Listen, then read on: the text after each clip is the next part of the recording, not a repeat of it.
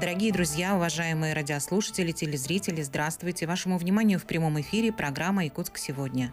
У микрофона с вами я, редактор Светлана Вишнякова, и в нашей студии гостья Татьяна Алешина. Татьяна, расскажите, пожалуйста, несколько слов о себе. Здравствуйте. Добрый день. Э, я работаю в Республиканском методическом центре психолого-педагогического сопровождения. Мы являемся подведомственным учреждением Министерства образования и науки Республики Саха-Якутия. Я являюсь заместителем директора. А, спасибо, спасибо, что нашли время сегодня быть в нашей студии. И мы ожидаем еще гостей в нашей студии. А, они приехали по вашему запросу. Скажите, пожалуйста, несколько слов о них. Ну, э, в конце 23 года были большие мероприятия в Москве, посвященные году педагога и наставника в Российской Федерации, и делегация республики присутствовала на съезде учителей-дефектологов, и также было очень большое событие, это столетие Института коррекционной педагогики. И вот как раз в нашей республике есть э, возможность познакомиться с специалистами института. Они сегодня к нам э, подошли и а, будут рады принять участие в программе. Это высококвалифицированные специалисты, которые занимаются не только теорией, да, но и являются э, такими сильными практиками именно в области коррекционной педагогики. Спасибо. Ну вот как раз гости подошли в нашу студию. Здравствуйте. Рада вас приветствовать и в нашей студии, и в нашем городе. И попрошу вас представиться, чтобы э, вас узнали и о вас узнали ваши, наши слушатели и наши зрители. Пожалуйста. Меня зовут Бутусова Татьяна Юрьевна. Я кандидат педагогических наук, старший научный сотрудник лаборатории психолого-педагогических исследований и специальных технологий образования лиц с интеллектуальными нарушениями. Из города? Из города Москвы. Институт коррекционной педагогики. Спасибо. Мы оба из Института коррекционной педагогики. Костин Игорь Анатольевич. Я работаю в лаборатории, которая занимается аутизмом по образованию я психолог, доктор психологических наук. Спасибо большое, что пришли в нашу студию, нашли время. Наверняка график у вас плотный. Ну и исходя из того, что наши гости рассказали о себе, понятно, что мы будем говорить о том, как помогать родителям и особенным детям. Верно? Да. А, скажите, пожалуйста, а с какой целью вы приехали в наш город и что для наших горожан, для людей, которым эта тема интересна, изменится после того, как они придут на те лекции, узнают ту информацию, с которой вы приехали? Эм, ну, мы приехали с мероприятием недели Института коррекционной педагогики в Республике Саха, э, Якутия, с целью э, взаимодействия со специалистами в специальной педагогике. Был представлен региональный опыт, мы представили свои э, научные методические разработки, результаты научных исследований. Ну, мы надеемся, что э, наше такое взаимное обогащение э, будет эффективным на пользу специальной педагогики. Специалисты получили от нас э, ответы на свои вопросы, а мы приобрели в нашу э, практическую копилку тоже некий э, опыт практически ваш региональный. Вот на, в, ну, такой вот с национальным, таким э, колоритом. А, с национальными традициями. Это очень интересный опыт. Расскажите, пожалуйста, какой-нибудь пример вот э, из того, что вы приобрели, что вам запомнилось, что вам показалось интересным в нашем регионе? Ну, давайте я начну. Да. Множество образовательных учреждений участвовали в эти дни, делились своим опытом. Например, вчера и сегодня мы посетили две совершенно потрясающие школы. Во-первых, это 35-я школа в Якутске, где обучаются дети в том числе с самыми разными особенностями развития. И невероятно современно оборудованная школа для детей с тяжелыми речевыми нарушениями. Вчера мы ее посетили. Вот. И это замечательно. Видно, что очень профессиональный коллектив и мастерские, и профессиональная, предпрофессиональная подготовка, и здоровье сберегающие технологии обучения. В общем, школа произвела сильное впечатление на всех нас. Спасибо. Кроме детей с речевыми особенностями, да. еще о каких детях речь? Которым вы самые, поможете? Самые разные нарушения развития, аутистический спектр, интеллектуальная недостаточность, задержки развития, нарушение опорно-двигательного аппарата. То есть э, дети самых разных категорий. А также дети с нарушением слуха и зрения. Mm-hmm. Слабослышащие, глухие, кохлеарно имплантированные, слепые, слабовидящие. То есть дети самых разных нозологий, нозологических групп. Дети с ограниченными возможностями здоровья, так они вот все у нас вы привезли информацию для педагогов, которые работают с такими детьми, да, для их родителей, и какую-то информацию, которая поможет и самим детям адаптироваться и социализироваться, верно? Да. Хочется надеяться, да. А расскажите, пожалуйста, о том, ну, коротко, да, какие-то, может быть, методики или чем вы готовы поделиться, потому что сейчас возможность на более широкую аудиторию рассказать об этом и, возможно, привлечь внимание э, к центру, да, еще раз, где смогут помочь как-то по-новому. Ага, ну давайте начнем с аутизма, с аутистических расстройств.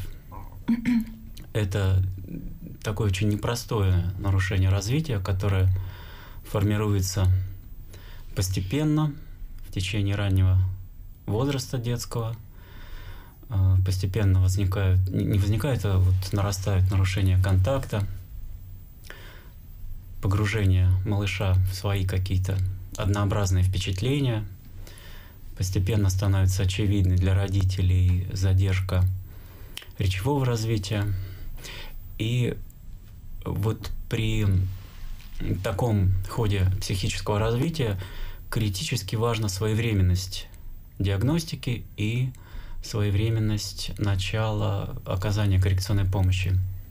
Потому что если начать такому малышу помогать там на третьем году жизни, то при прочих равных условиях успех будет больше, чем если начать такому малышу в пять лет помогать, допустим. А с какого возраста больше, да. видно mm-hmm. уже вот, э, вот, вот этот синдром? Синдром же, да? Правильно? Ну да, можно и так сформулировать. Это, это непростая проблема, ранняя диагностика аутистических расстройств. Вот. И ну, как раз вот в нашем институте тоже разработаны некоторые инструменты для этого.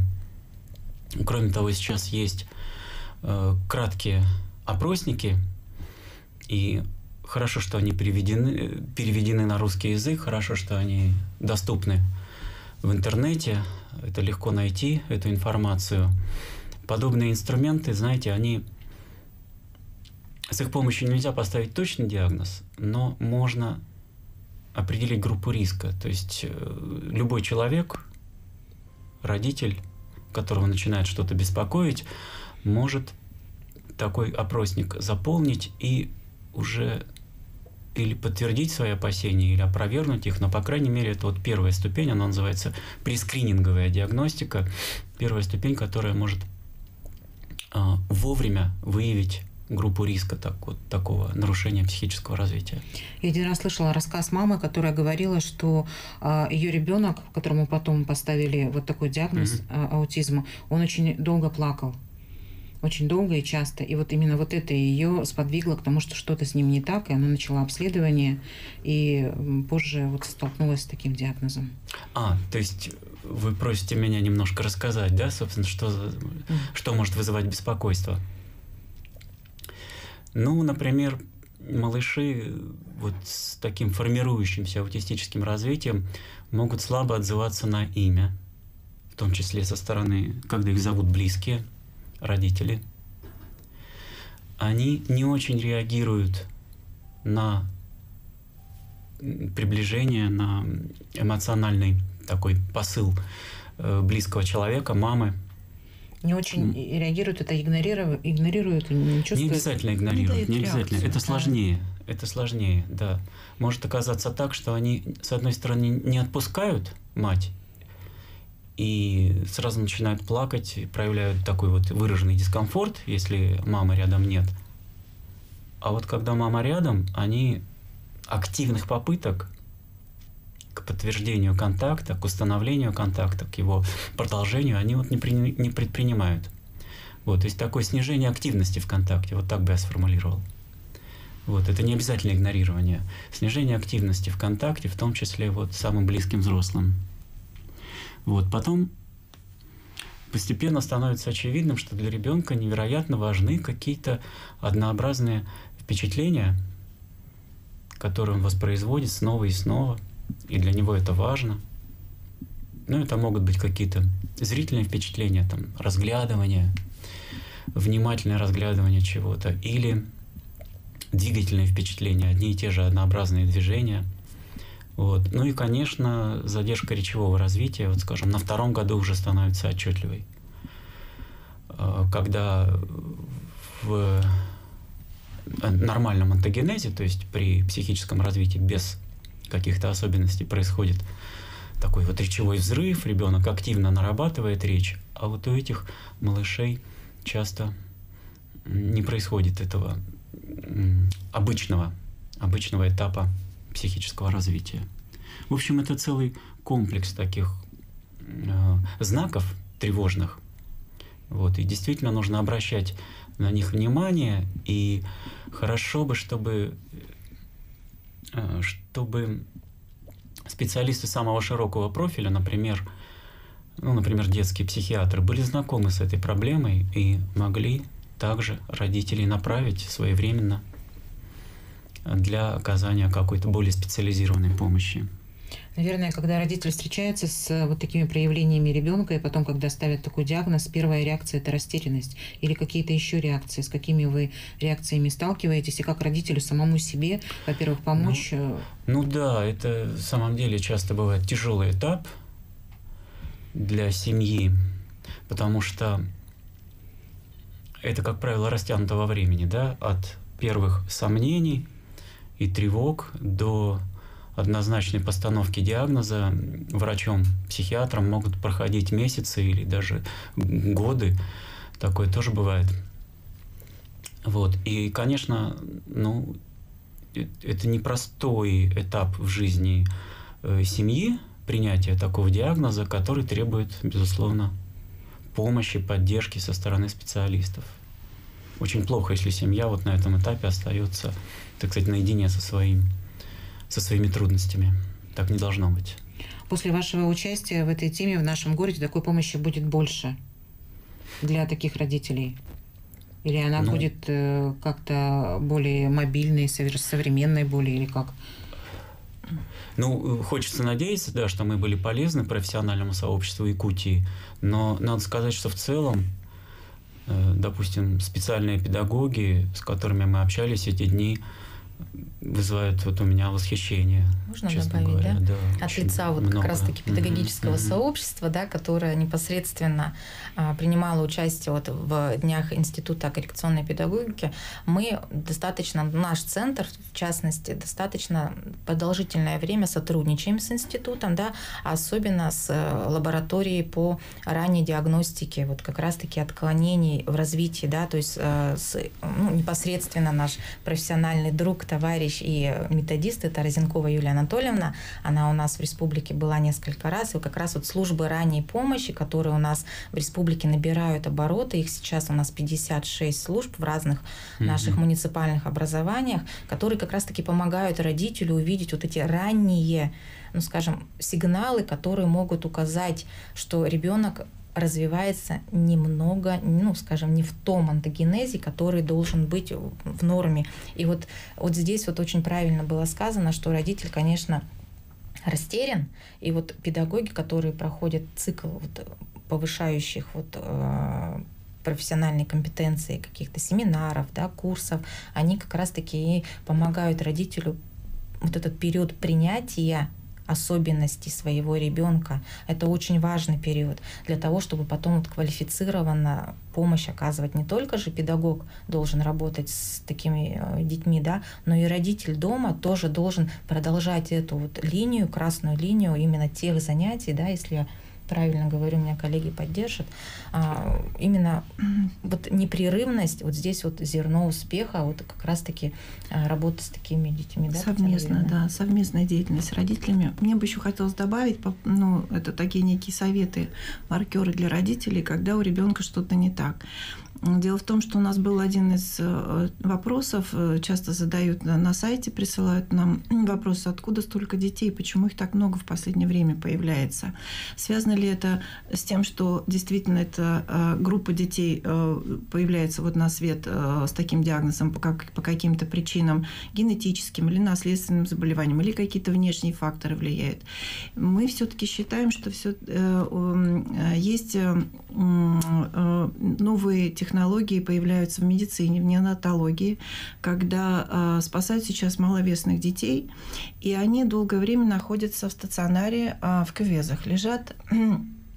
по два по три месяца э, э, в стационаре на выхаживании. В этот период как раз вот запаздывает тот э, период, когда закладывается а, сенситивный период общения с матерью. Пропадает период грудного скармливания. И когда ребенок приходит из стационара, вернее, его привозят домой, у него вот этот период адаптации в семье задерживается на 2-3 месяца. И еще плюс кислородное голодание вызывает некие такие, знаете, функциональные изменения в организме, когда функциональные системы не совсем совершенно развиваются. И в итоге мы можем получить э, нарушение всего психического развития. И когда родители видят, что в два месяца ребенок не держит голову, что в шесть э, месяцев у него не появляется лепет, года он не овладевает э, ходьбой, и, как говорит Игорь Анатольевич, проявляет такие немножко отстраненные реакции да, на близкого взрослого, это уже повод для тревоги обратиться к специалистам, тем более, что ваши специалисты а, в регионе уже очень подготовлены а, в, в рамках оказания ранней помощи такой семье. Тогда получается одна из причин вот таких одна вот симптомов это ребенок, который появился раньше срока. Да, одна из причин у детей, которые рождаются э, раньше времени, это бывают и трудные роды, преждевременные роды, недоношенные дети. К сожалению, их выхаживают, но э, сказать о том, что он будет стопроцентно здоров, никто вам э, такую гарантию не даст. Возможны различные э, ну, последствия, так скажем. И родители должны очень четко отслеживать вот эти вот стадии э, э, нормативного развития ребенка. А, то есть быть более внимательным. Конечно. Если такое конечно, есть. Конечно. Да, уж такая история. У нас совсем недавно в эфире были представители клуба 28 петель нашего uh-huh. города. Uh-huh. Это девушки, которые а, вяжут специальную одежду для вот таких вот деток, которые появились раньше срока, из какой-то специальной нитки, которую потом эту одежду надевают им на голое тельце. Они вот в этих боксах лежат в этой одежде. Покалывание вот эти вот способствуют... Э, ну, конечно, у них же еще система терморегуляции несовершенная. Они совершенно длины. Они должны в это время быть у мамы внутри, еще питаться через э, кровеносные сосуды, да, система. Но вот, к сожалению, это нарушает нормальный ход созревания всех клеток, Такая в том числе всех нем... систем. Немножко поможет им. Ну, конечно, мы пытаемся, э, раз уж такое да, чудо произошло, э, ребенок родился на свет, но вот последствия могут быть самые разные. Мы не говорим, что это обязательно, но риск очень велик. Это дети группы риска.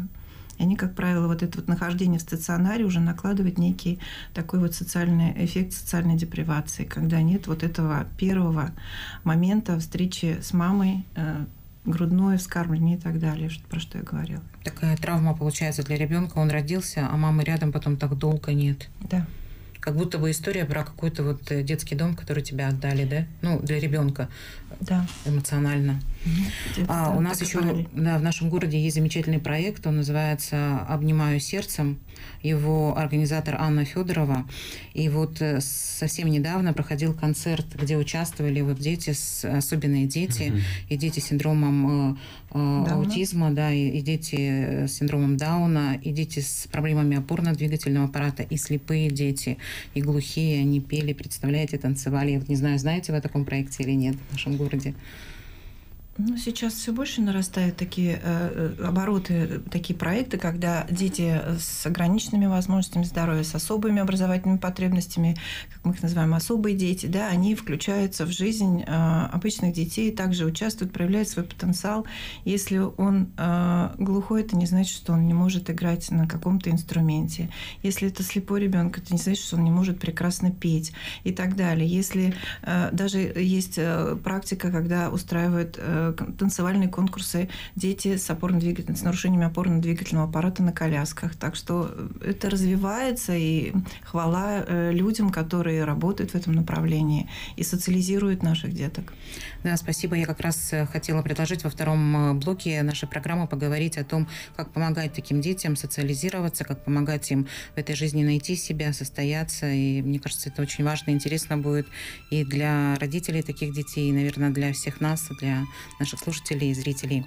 Дорогие друзья, мы через короткие 4 минуты снова продолжим. Оставайтесь с нами, не переключайтесь.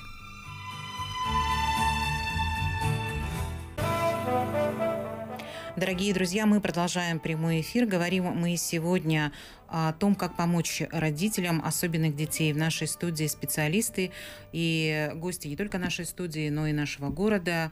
А, Татьяна Алешина, а, Татьяна Бутусова и а, Игорь Костин. Костин. Давайте продолжим. Мы в первом блоке говорили о том, что важно все-таки помочь детям с особенностями социализироваться. А что вы можете, Игорь, добавить вот э, к этому? Очень важно, чтобы семья с таким ребенком не оставалась в изоляции. Но вот если говорить об аутистических расстройствах, к сожалению, такое бывает. Потому что аутизм это, как говорят, невидимая инвалидность.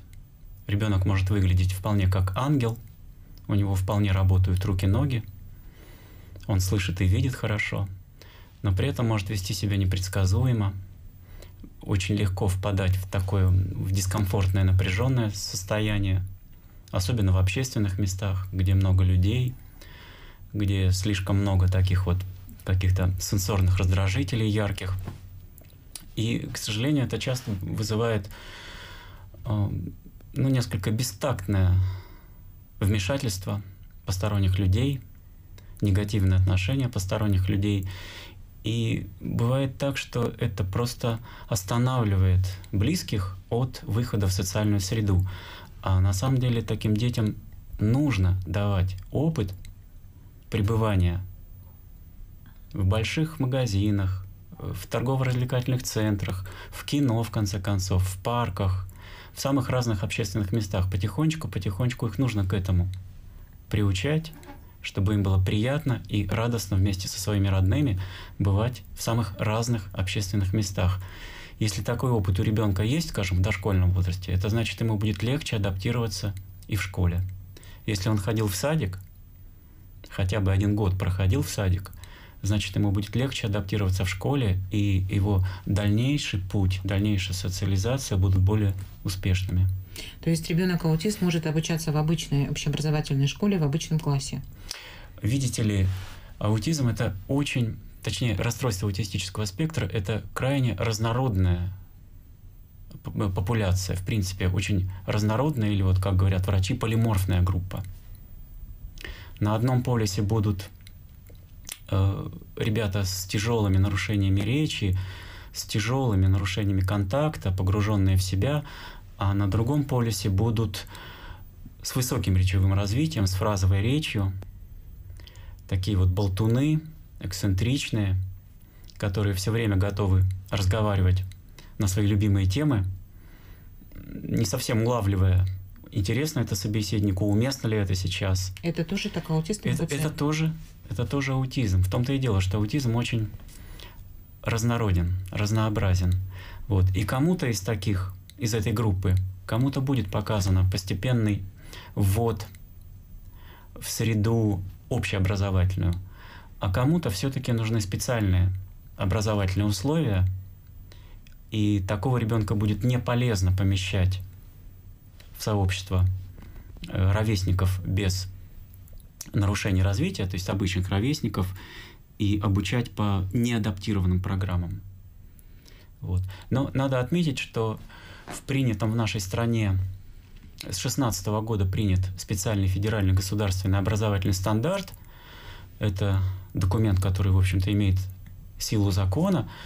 И вот в этом документе четко прописано, что любому ребенку с аутистическими расстройствами, по какому бы образовательному маршруту он ни шел, как бы он ни учился, все равно показано определенные, определенные меры помощи показаны.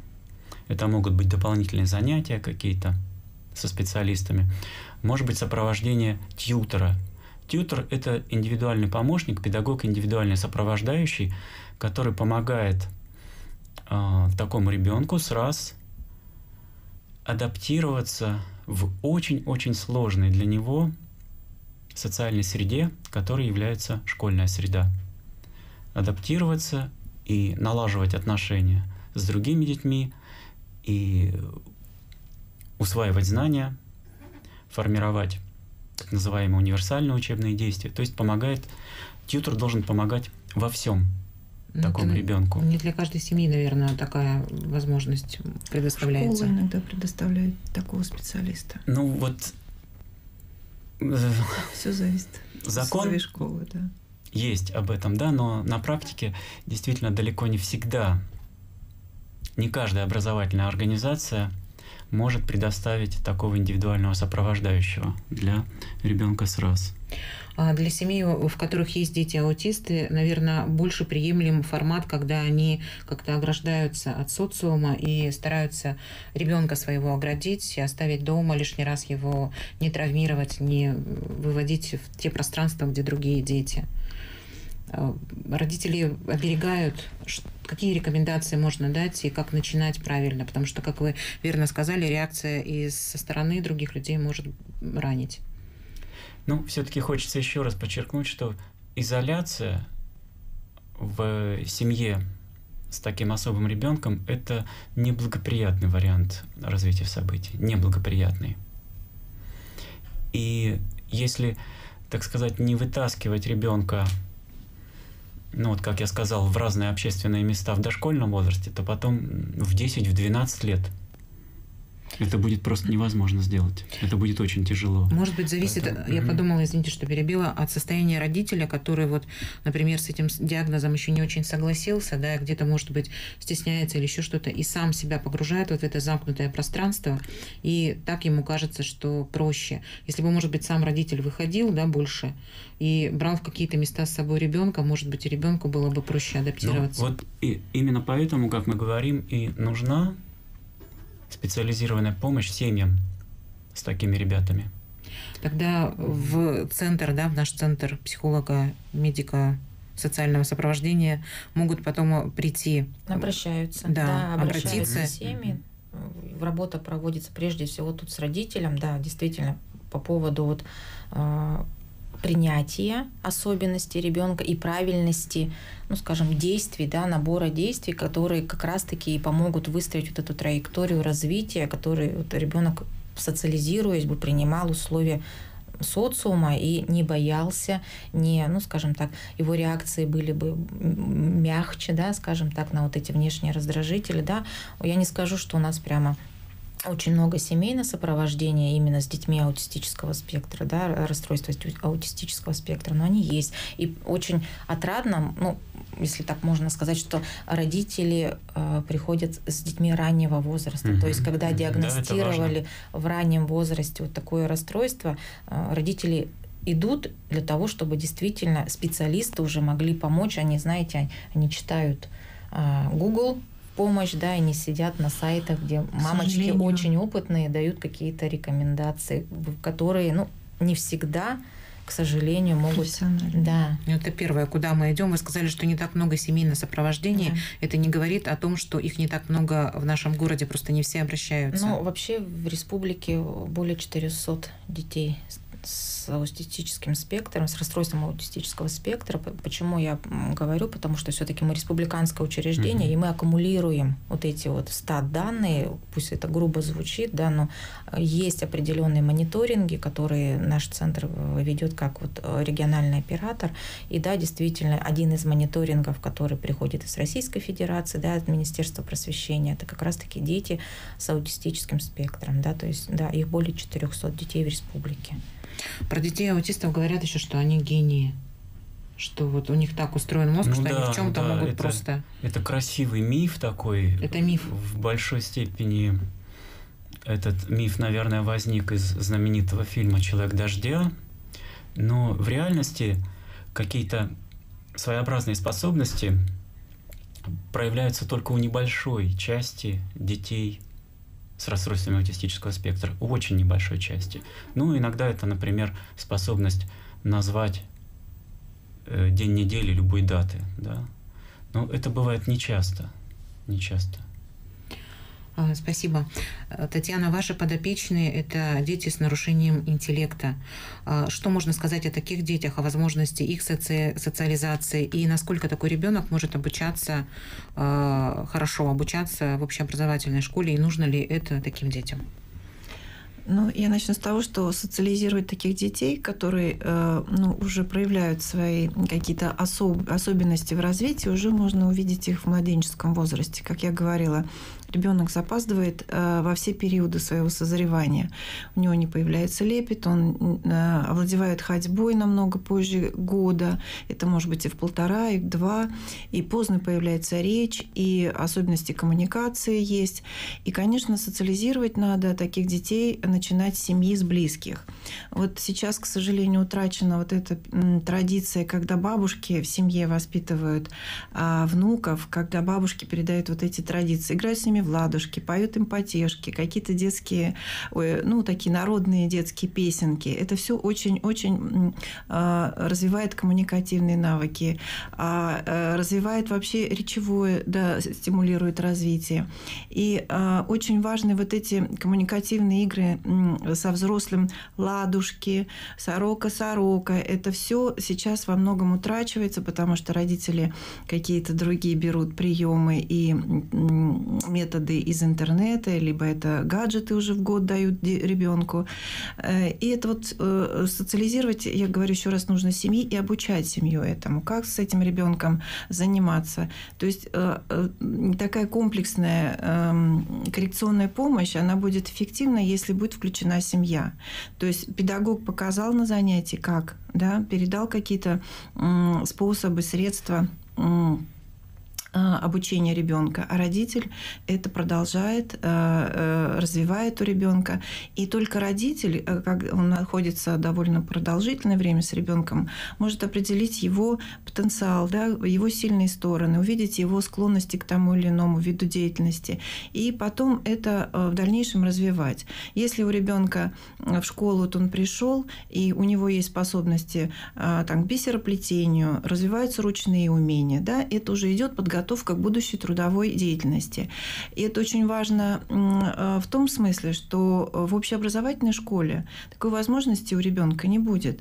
Во-первых, он будет заниматься, хоть и по адаптированной программе, потому что у нас сейчас это прописано в законе, но он будет заниматься среди нормотипичных детей, которых в классе очень много.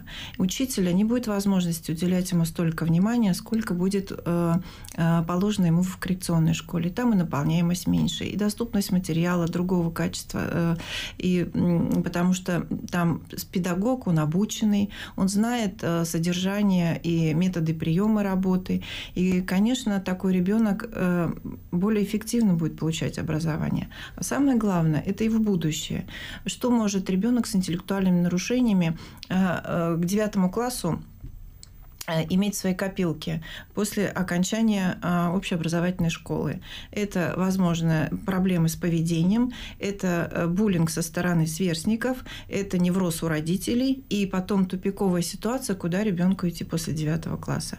В коррекционной школе, если это э, школа с традициями, а мы убедились, что ваши коррекционные школы работают в ну, ну в такой традиции старой э, советской э, отечественной школы дефектологии. Они э, знакомы с нормативными документами современными, они составляют вот эти адаптированные программы, они следуют этому программному материалу и участвуют в различных проектах федерального значения, когда оборудуются мастерские, а, доступная среда там сформирована, когда ребенок такой может а, по своим склонностям найти себе дело. начинается это с начальной школы, то есть это какая-то кружковая работа или неурочная деятельность, а с шестого класса начинается профильный труд, где ребенок владевает первичными профессиональными а, а, навыками и умениями. Причем, позвольте, я хочу добавить, что используемые профессии, которые вот в школах вашей республики Э,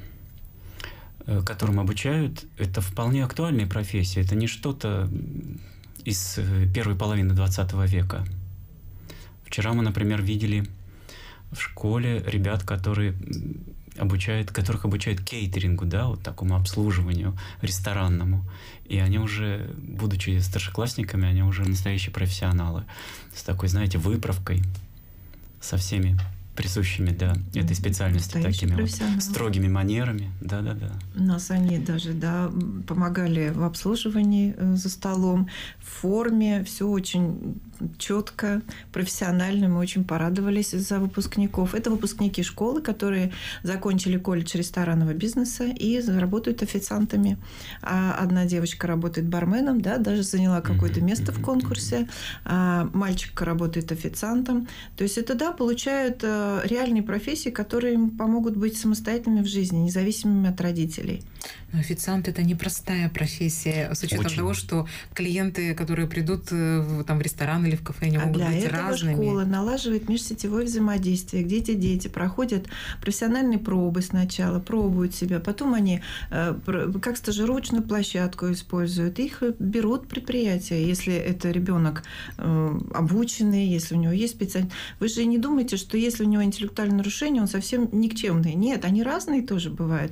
Да, у него, может быть, он не получит высшее образование, но какими-то э, такими простыми, не, не очень сложными, хотя они овладевают и столярным делом, и слесарным, и швейное дело им доступно, и сантехническое дело, и э, изготовление кружева машинное, ручное, и бисероплетение. Вот сейчас мы э, познакомились э, с сувенирной продукцией, которую дети выпускают. Удивительные вещи. Мы столько сделали фотографий для э, покажем коллегам, чему здесь научили э, вот педагоги вашего региона. Удивительные И при этом хочется результаты. добавить, такие молодые люди могут быть невероятно добросовестными, в общем-то, работниками, честными такими, знаете, лишенными там э, жесткой конкурентности, да, они не будут подсиживать коллегу. Не амбициозные. Вот. Да, да, да, да. Не, не амбициозные, а такие вот хорошие а... работяги. Да, да. И узнав такого работника, может быть, э, потом работодатель, он как раз-таки будет в эту сторону смотреть для того, чтобы коллектив свою комплектовать. Конечно, ведь нехватка кадров она есть. А взять сельскохозяйственный труд в тепличных хозяйствах. Э, ну, работа, честно и прямо малооплачиваемая. А ребята, они вот со школьной скамьи учатся выращивать из семян растения у себя. Более того, они придумали, вот вчера мы тоже были удивлены, такой у них проект развивается, у них выращенные своими руками комнатные растения. На каждом растении стоит QR-код, и ты можешь подойти с помощью телефона навести QR-код и узнать, что это за растение, как за ним ухаживать. Вот, пожалуйста, вам ноу-хау. Вы где-нибудь такое встречали? А это вот дети коррекционной школы придумали. Причем в, в рамках проектной да, деятельности. В нашем городе. Да. В вашем городе. Вот Спасибо какие у вас большое, тут да. бриллианты. Вот не пришли бы вы сегодня, я бы об этом не узнала, и не узнали бы наши слушатели и зрители. И вы с такой радостью об этом говорите. Вы прям да. видно, что впечатлены. Мы впечатлены. Да, и вам это так приятно, так вам это понравилось. Да, Мне да. нравится ваша реакция.